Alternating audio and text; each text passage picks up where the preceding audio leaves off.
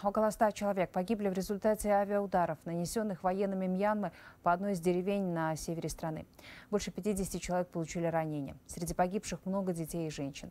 По предварительным данным, истребители ВВС Мьянмы атаковали деревню во время открытия там нового общественного центра. Церемония была организована силами местной оппозиции. В мероприятии участвовали мирные жители, в том числе школьники.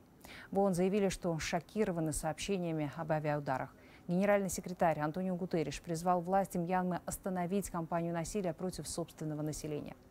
Напомню, в феврале 2021 года в стране произошел военный переворот. Вооруженные силы Мьянмы сместили гражданское правительство и взяли власть в стране в свои руки.